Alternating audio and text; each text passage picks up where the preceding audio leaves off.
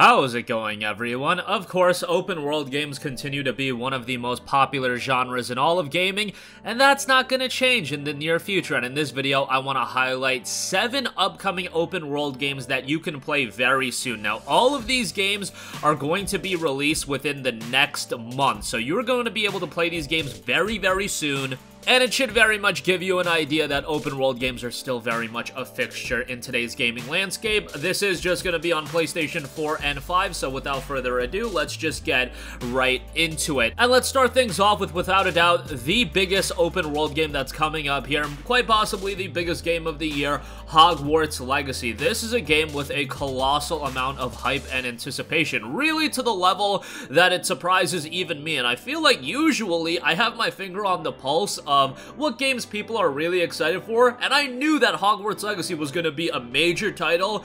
Did I expect it to be this hotly anticipated to the point where it's the best-selling game on Steam, that it's the best-selling game on the PlayStation Store weeks ahead of release, and let me tell you guys, that says a lot and usually is a good indicator of how well a game is going to sell. Sometimes I do get a little bit worried when a game has the level of hype and anticipation that a Hogwarts Legacy does have because sometimes it's hard to live up to expectations to that degree, even if it's a really good game. But what we've seen out of Hogwarts Legacy has looked remarkable. An immersive open world action RPG, now you can take control of the action and be at the center of your own adventure in the wizarding world. Of course, you'll be able to explore a vast open world with a sizable amount of content. It's already been noted, 35 hours for just the main story. If you're a completionist and you're looking to do everything, you're looking at a 70 hour experience, give or take a couple hours. It's an open world action RPG set set in a world first introduced by the books, embark on a journey through familiar and new locations as you explore and discover magical beasts, customize your characters and craft potions, master spellcasting, upgrade talents,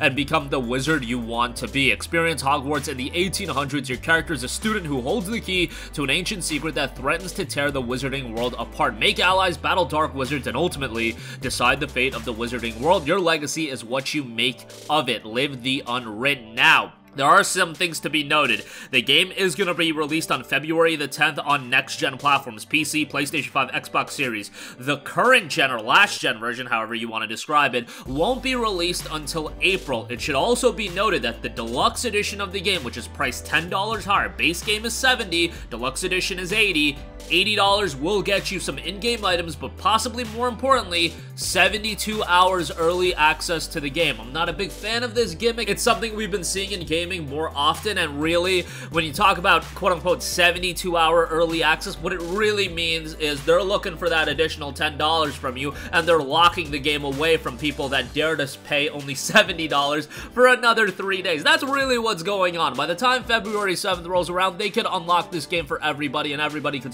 playing it, that wouldn't be a major issue. Not a big fan of that, but the game itself looks remarkable, and I don't think people are going to have uh, too big of an issue parting away with $80 to play Hogwarts Legacy 72 hours early. Alternatively, if you want to spend 70 on the PS5 version, it will be dropping February 10th again, February 7th for those of you buying the digital deluxe edition. Next up, a game that is slowly creeping up in buzz and anticipation, we've got Atomic Heart. This is a sci-fi first-person shooter with some really cool thematics in a mad and sublime utopian world. Take part in explosive encounters, adapt your fighting style to each opponent, use your environment, and upgrade your equipment to fulfill your mission. If you want to reach the truth, you'll have to pay for it in blood. I think a lot of people didn't even know that this was going to be an open world experience. Now, there's going to be times where you go into these dungeons and whatnot, but overall, the game is set in an open open world. Performance-wise on next-gen platforms, it looks like it's gonna run really well, and it notes, Welcome to a utopian world of wonders and perfection in which humans live in harmony with their loyal and fervent robots.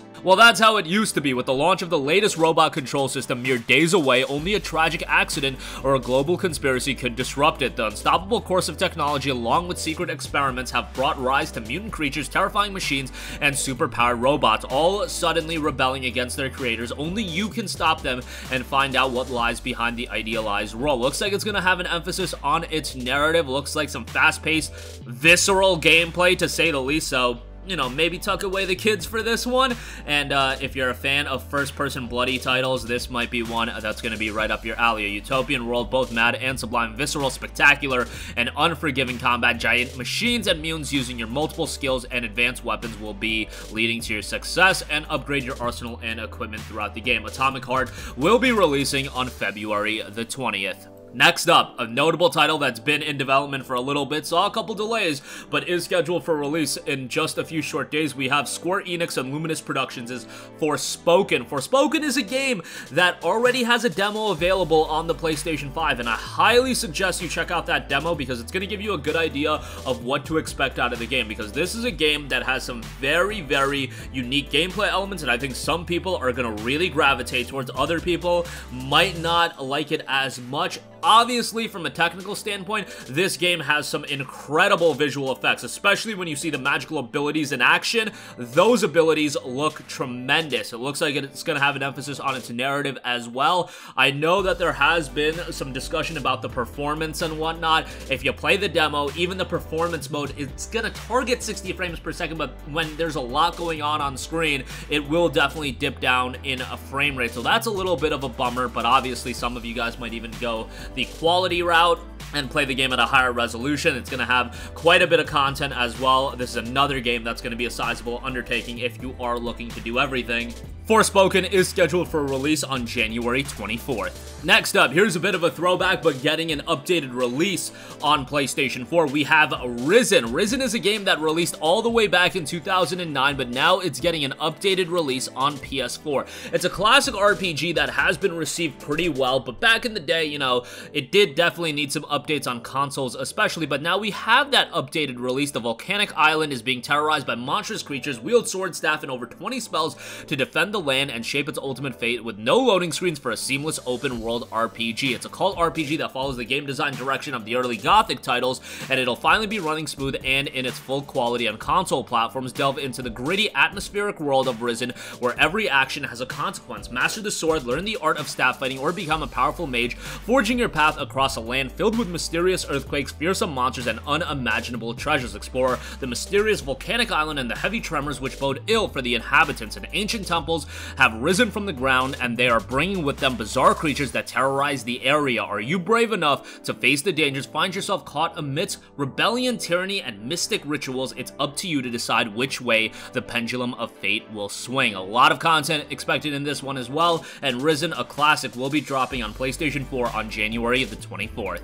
Next up, here's a game that's really going under the radar, and that is Season A Letter to the Future. Super slick art style, a creative and unique art style with this one as well. The game notes, leave home for the first time to collect memories before a mysterious cataclysm washes everything away. Ride, record, meet people, and unravel the strange world around you. Immerse yourself in the world of Season, a third-person atmospheric adventure bicycle road trip game. Definitely gonna be more of an exploration-driven, relaxing title. It focuses on exploring, recording, meeting people, and unraveling the strange world around you. Each recording tool captures a different layer, sounds and music, art and architecture, the stories of characters living through pivotal moments. Your tools peel back these layers until you grasp the culture, history, and ecology underneath everything. This quest leads you to the big question, what is this season, why is it ending, and what will the next season bring? Pretty interesting title, Season A Letter to the Future, will be dropping on January 31st.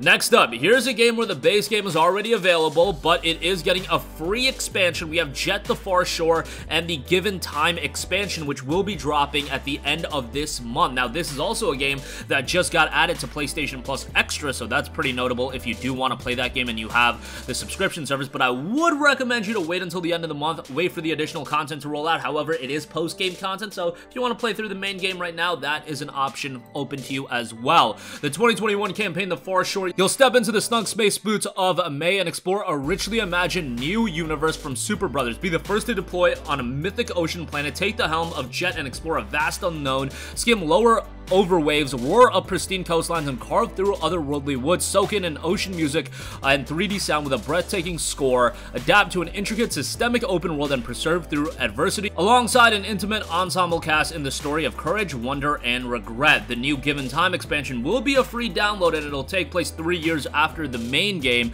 Jett the Far Shore is a game, again, you can check out with PlayStation Plus Extra, and it is scheduled to get this free expansion by the end of the month. And lastly, do want to also give a mention for those of you picking up PlayStation VR 2, an MMO RPG, an open world one of that, Zenith The Last City will be dropping on PSVR 2. Now, this is a game available on regular VR. It will be getting a free upgrade to VR 2 if you are picking up the headset. I know some people, myself included, uh, potentially, are just priced out of getting VR 2 right now. I am still on the fence on whether or not I'm going to get the headset, but I enjoyed my time with the original PlayStation VR, and at some point, I am going to be getting the headset. They do have a roster of launch titles that are incredibly compelling, and Zenith The Last City is one of them. Fight, craft, explore, and lose yourself in a massively multiplayer world built for VR, forge alliances and friendships in guilds and parties, join epic raids and world events, and blaze your own path. How will you use your power? The game has seen a very positive reception as far as its original release. Now it's going to get even better on VR2, and it'll be a launch title for the platform come February 22nd. And that is going to be doing it for me. Again, a lot of open world games. And again, these are all out within the next month. So you're going to be able to play all of these games very soon. Bear in mind that open world games are vast, lengthy experiences. So the ability to go through seven open world games in the span of a month, probably not going to happen. You'd be lucky if you could 100% just Hogwarts Legacy and maybe you could get Forspoken in there as well. But a lot of titles to pick up within the next month if you're a fan of exploring open worlds. That's going to do it for me. Let us know which open world games you're excited for coming up in the next month or so. Sound off with all of your thoughts in the comments section down below. Thank you for watching, and goodbye. Hey guys, we hope you enjoyed the video, and if you did, make sure to hit the subscribe button, and if you're already subscribed, do us a favor and hit the bell icon. This way you'll be notified whenever we post a new video. That's the best way to keep up with all of our uploads, and we usually try to upload two videos a day. And with the bell icon hit, you'll be notified whenever we do upload a video. As always, thanks for watching.